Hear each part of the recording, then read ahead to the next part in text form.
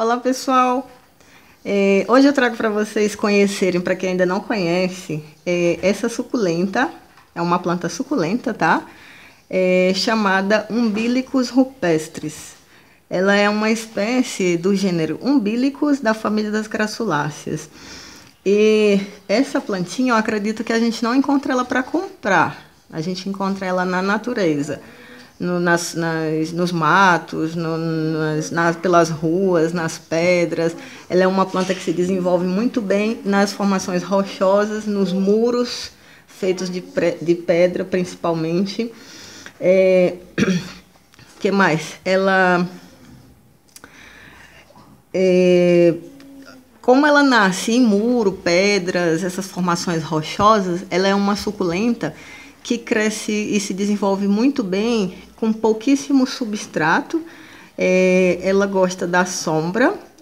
É, ela nasce no o ambiente propício para ela nascer, geralmente é, nos muros, por exemplo, muros de pedras, onde pega o solzinho da manhã e depois passa o resto do dia no, na, na sombra.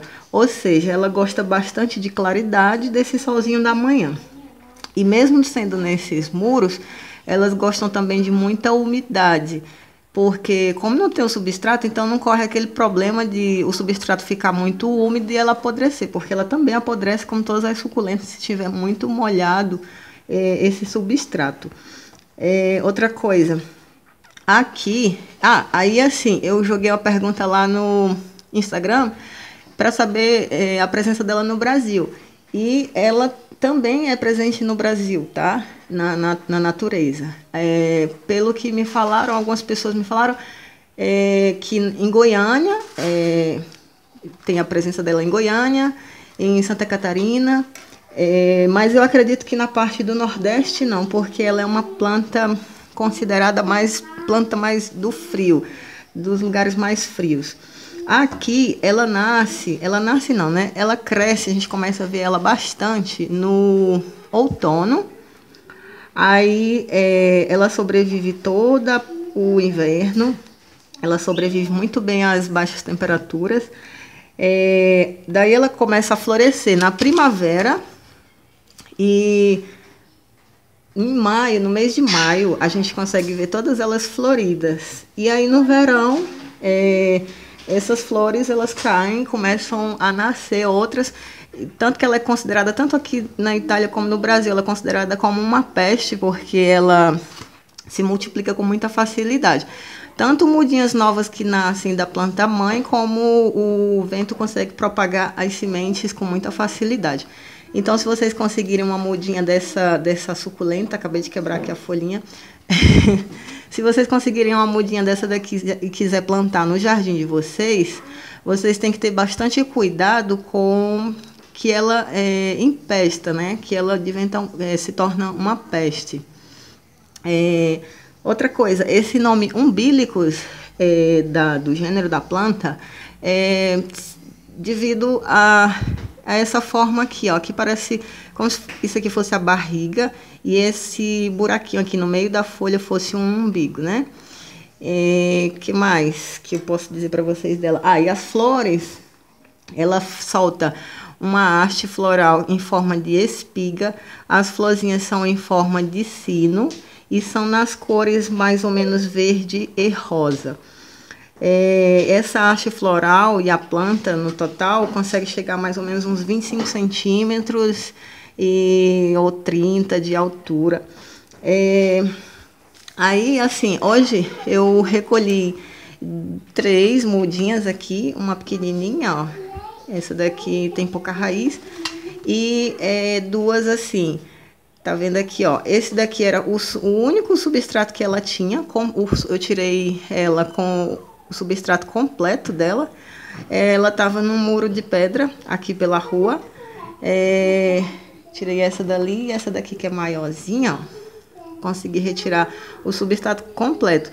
Ou seja, a planta desse tamanho aqui que vocês veem, é, o único substrato que ela tinha era esse daqui. As raízes são bem fininhas é, e curtas, não são muito profundas não. Mas ela se agarra bem direitinho aos terrenos rochosos. É, que mais? É, que eu posso falar para vocês dela, porque eu comecei a estudar um pouco mais sobre ela, que eu acho ela muito bonitinha. É, estudei que ah, essa planta ela é perene, né? Porque é uma planta que não morre, ela dura anos e anos. Aqui no verão, ela desaparece, mas não significa que ela morreu. Eu acredito que ela desaparece a parte das folhas e continua a raiz lá na terra. Mas ela desaparece por quê? Por causa do calor muito intenso e o sol muito forte. Mas aí, quando o tempo começa a esfriar novamente, é, elas começam a aparecer, que é justamente nessa época aqui que eu tô agora, que é o outono. A gente vê ela demais em todo canto. É, Aí, assim, ela também é uma planta considerada comestível, mas, assim, comestível no sentido de é, usarem ela na, na medicina, pessoal, na medicina homeopática. Ou seja, ela é uma planta, mas aí eu não quero entrar nesse assunto porque eu não entendo nada disso, tá bom? Mas ela é usada na medicina homeopática é, para curar inflamações. É, ela é eficaz nesse, nesse sentido de, de cura de inflamações. Aí assim, é, vou plantar uma. Essas daqui eu vou botar no vasinho lá fora, não tem problema, elas não morrem. E essa daqui eu decidi plantar ela dentro de casa. Ano passado eu plantei uma dentro de casa, mas aí depois eu acabei perdendo ela. É, aí como é que eu vou plantar? Como ela não precisa de vaso fundo nem de muito substrato, eu vou plantar ela dentro desse desse negocinho aqui que eu tinha aqui na cozinha de casa. É, vou plantar ela com esse substratozinho do jeitinho que ela tá e vou jogar umas pedrinhas, tá? Vou deixar ela cheia de pedrinhas aqui ao redor dela, só para segurar ela mesmo ali dentro.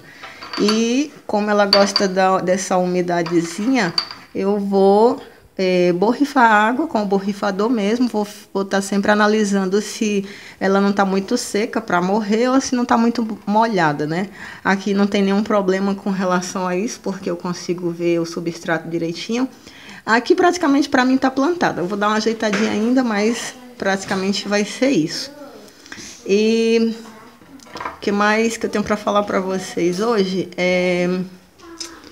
Hum, sim, aí quando chegar na época da floração dela, eu volto para atualizar com vocês como é que ela tá e se eu conseguir cultivar ela dentro de casa, tá bom?